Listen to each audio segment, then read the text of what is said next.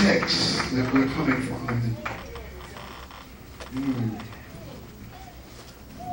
goes right in hand in hand with the theme for today. Coming from third chapter of Ephesians. I will start at verse 14. And it reads, let me know when you have it by saying amen. If you would please stand to your feet so that we can reverence the word of God. Amen. All over this house, if you're able bodied, if you're able to stand, please rise to your feet. Amen. There's somebody that wish they could stand. Amen. Don't take the blessing for granted.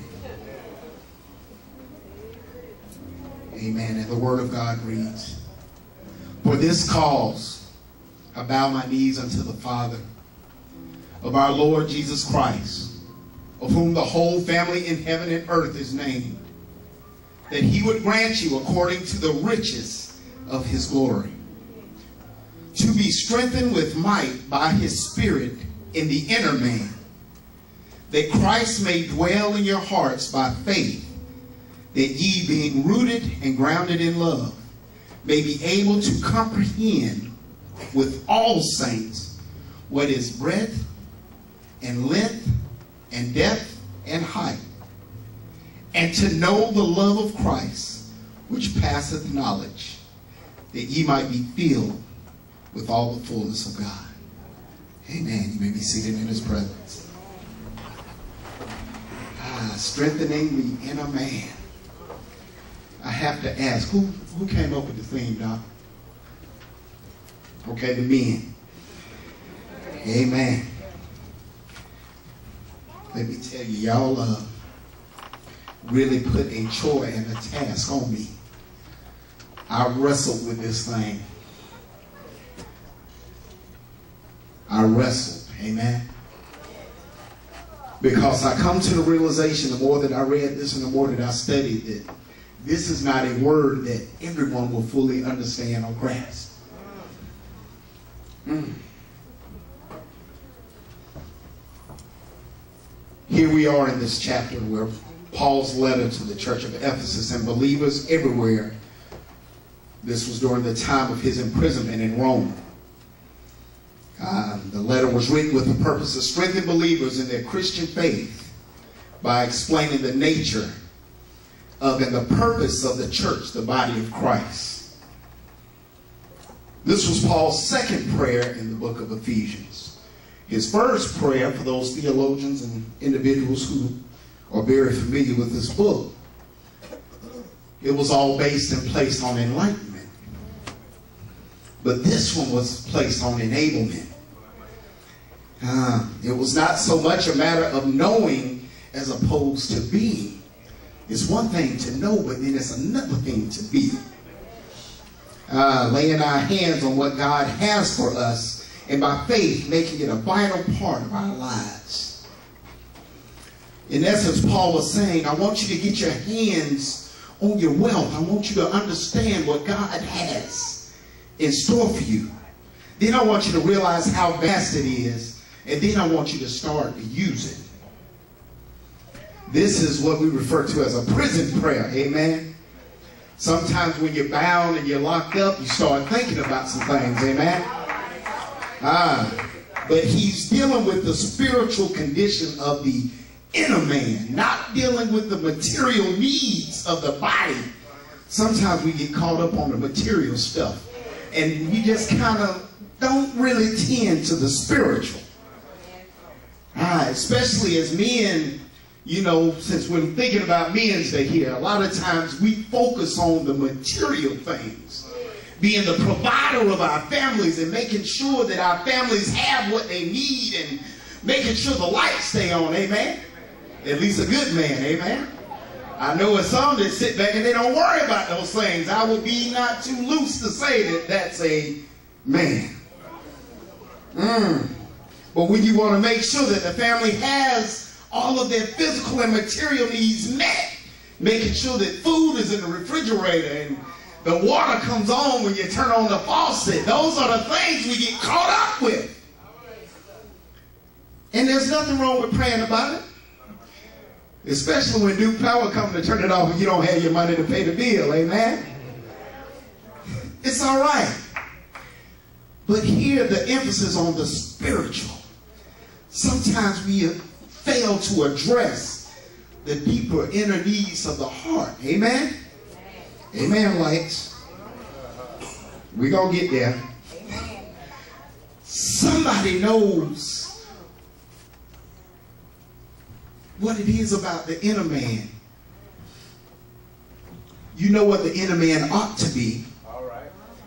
And when we get that inner man straight, the outer man is going to be okay. Amen? But some of us, we just, we're not even concerned about the inner man.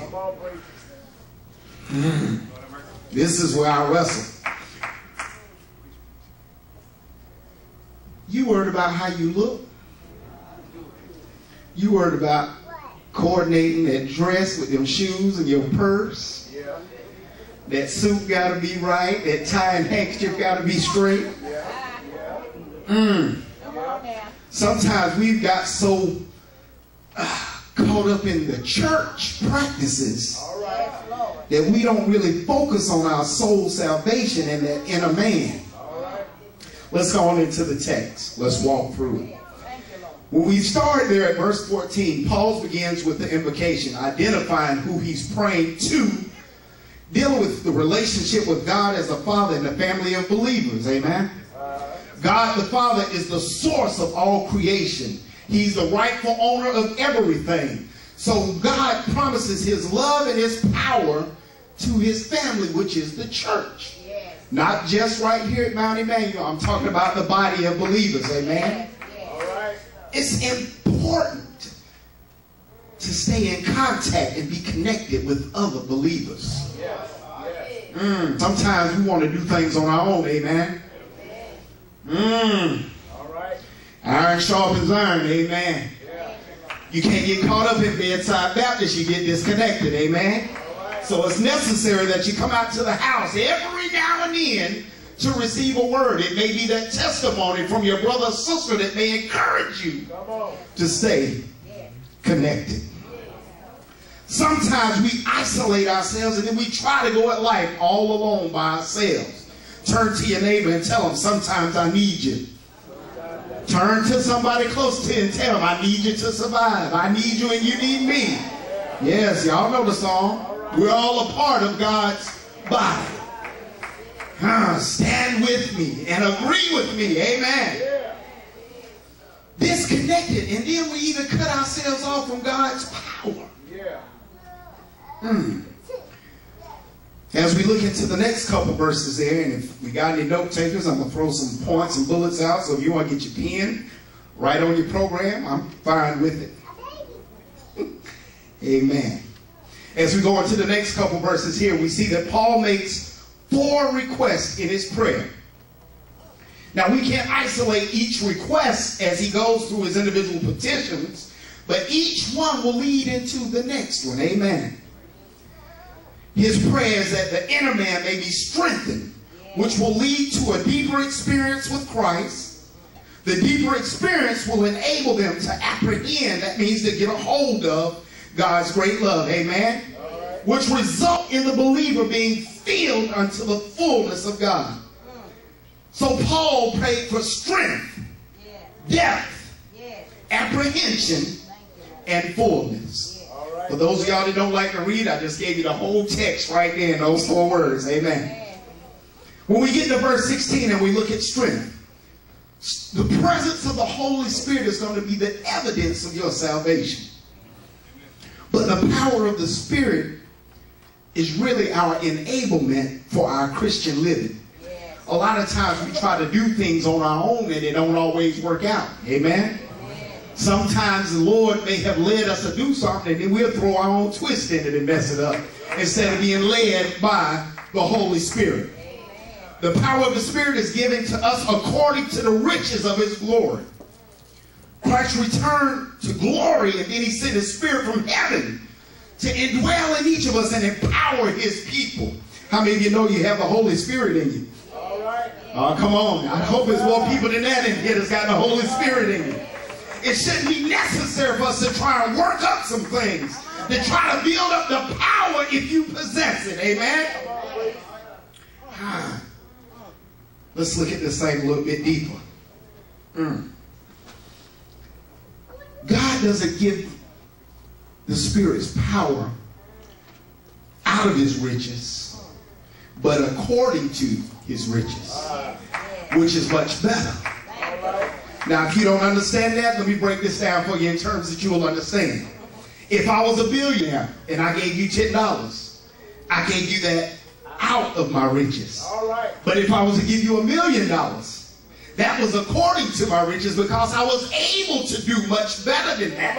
Because of the abundance of what I possess, I'm able to give you according to my riches. Mm. Some of you didn't even get that. There's a difference between portion and proportion. Amen. This is a power that's available to the inner man. This means that the spiritual part where God dwells and works the inner man of the lost sinner is dead. Mm. Here we go with the wrestle.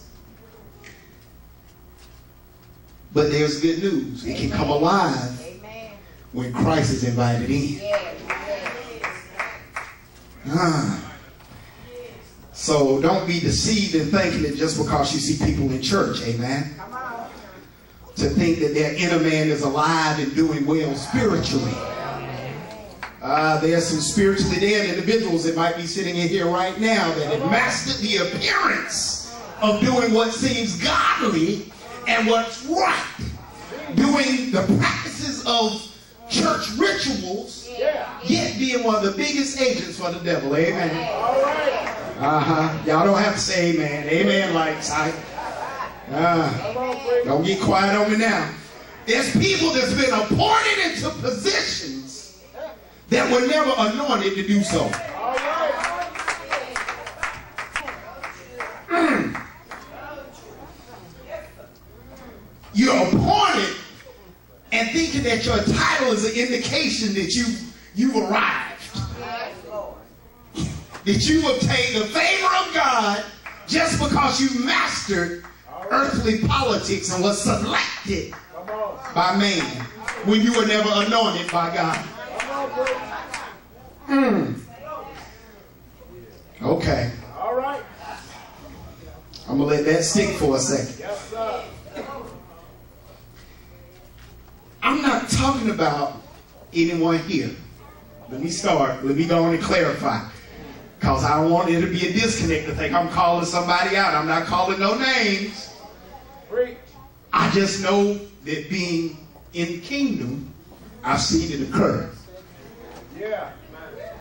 It hadn't happened here in Man, I'm sure. So y'all can say amen. Woo. But the inner man can see. The inner man can hear. The inner man can taste. The inner man can feel.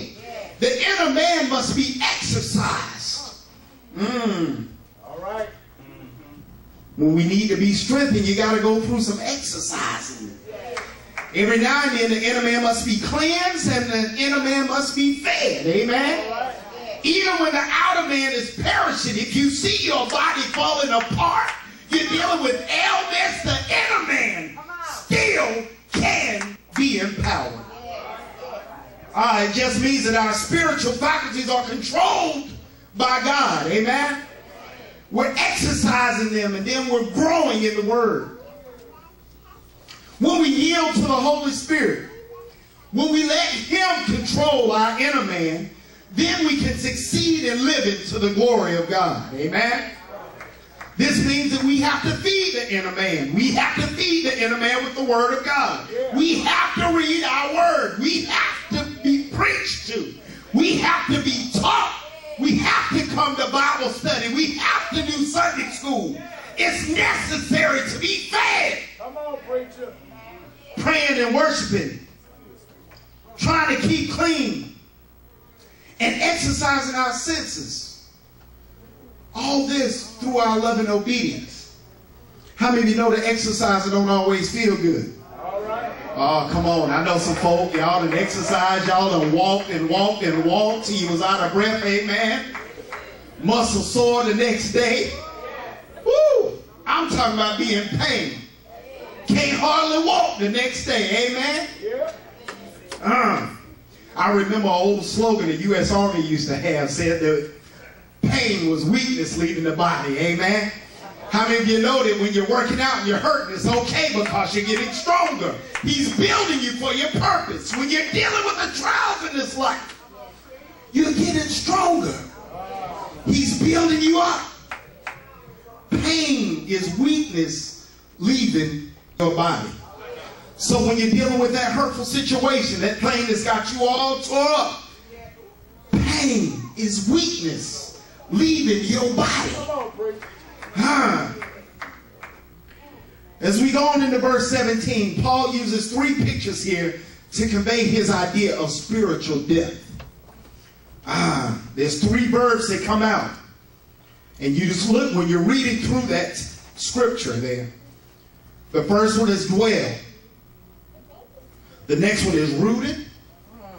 And the third one is grounded. In the beginning of the letter to the Ephesians, Paul referred to and addressed them by saints. So Christ was already a resident in their hearts. All right. When I tell you that this word is not for everybody, if you have not accepted the Holy Spirit into your heart, you're not going to understand this text. That's right. Because you can't strengthen the inner man. The Holy Spirit cannot work until you've accepted the Holy Spirit into your life. So this is not for everybody. At this point, it's not too late. Amen. Turn to your neighbor and say it's not too late. Mm. Paul referred to addressing the saints. So Christ was already a resident in their hearts. I can be a guest at somebody else's house right and never feel like I'm at home. Any of y'all ever went to visit some relatives? You got in the bed and you just couldn't even sleep right. You tossed and turned all night long because you felt out of place. It could have been that lumpy old cheap mattress that they put on the guest bed. But you don't feel home because your body is used to your mattress. You're used to what happens at your house. Paul was praying here for believers to have a deeper experience between Christ and his people. He didn't want you to have a surface relationship. Mm. All right now.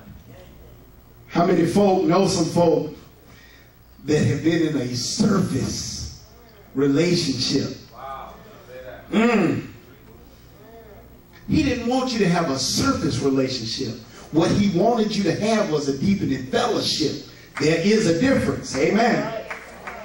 When looking at being rooted, we have to take it and relate it to the plant world. When we see plants and trees, they must have their roots deep in the soil to have both nourishment and stability.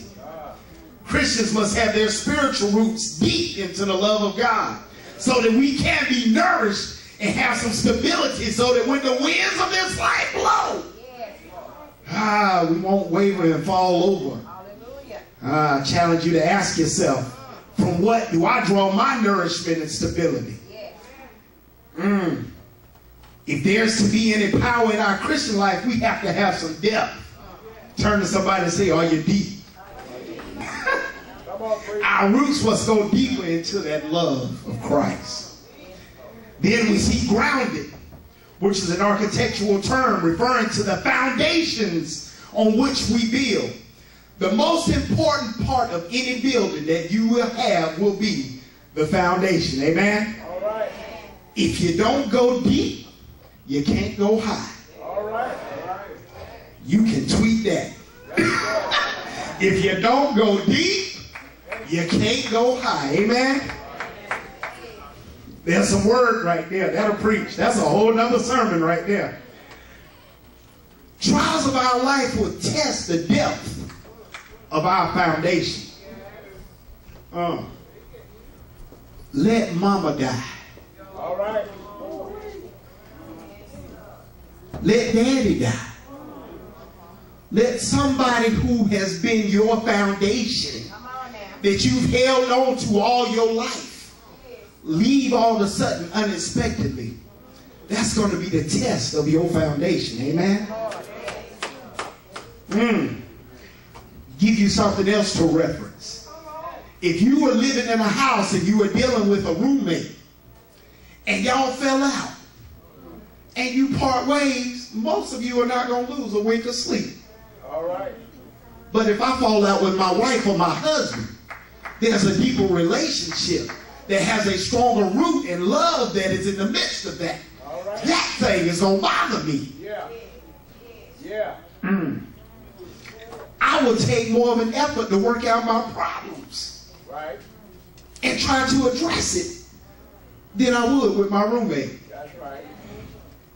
So when the storms blow, when the test comes that's going to test the strength of your roots, ask your neighbor, are you grounded?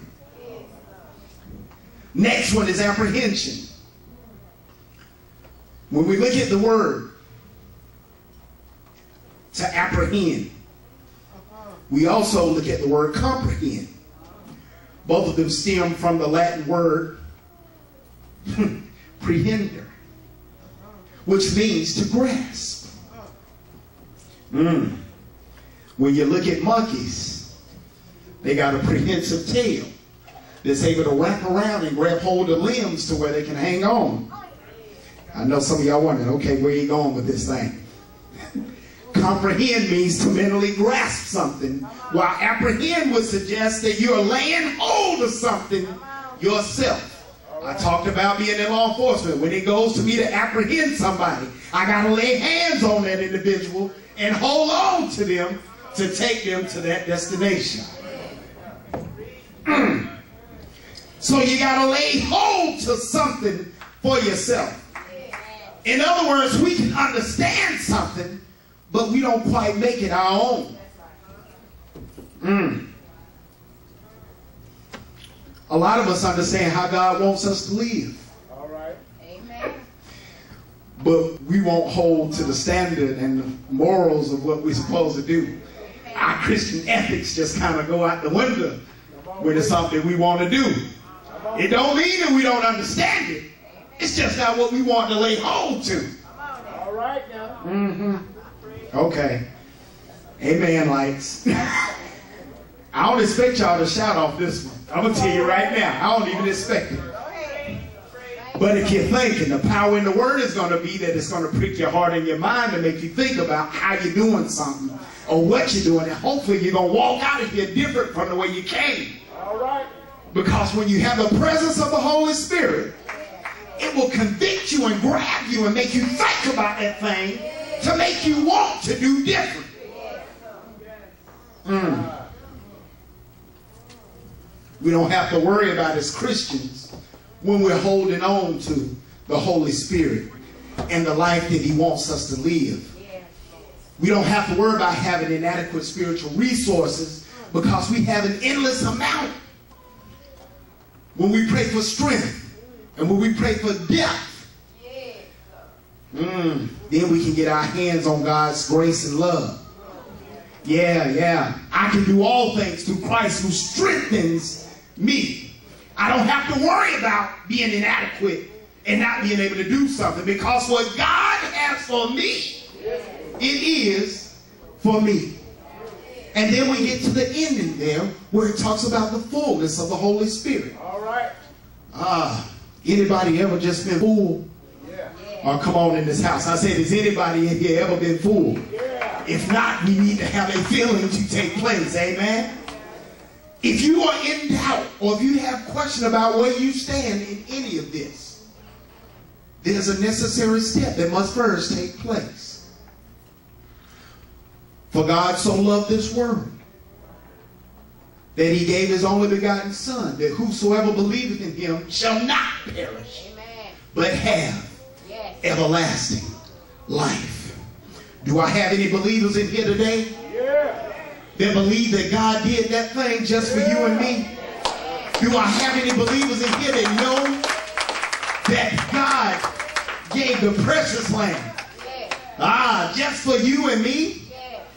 I can't speak for you, but I can speak for me. I know that I believe that the Son of God was born of a virgin. Ah, yes, I believe that he was born in a manger. Even though he was the King of kings and the Lord of lords, I believe that he walked on this earth. People didn't acknowledge who he was. Some did, but the majority did not. Mm. Believe that he healed the sick. Do I have any other believers in here today? How many of you know that he's still able to heal the sick in here today? Ah, I know he was able to feed the hungry. I know that he was able to even raise the dead. Ah, I believe that my Jesus was captured.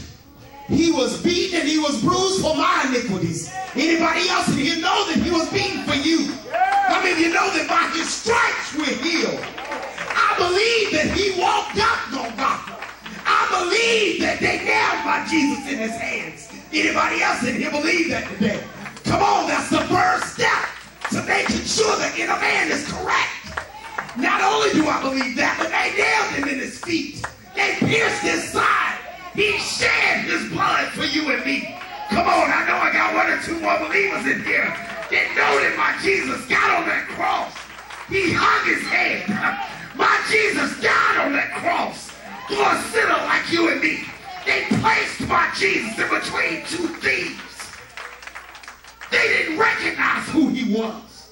After he hung his head and died, they placed my Jesus in a borrowed tomb. They placed my Jesus in that tomb.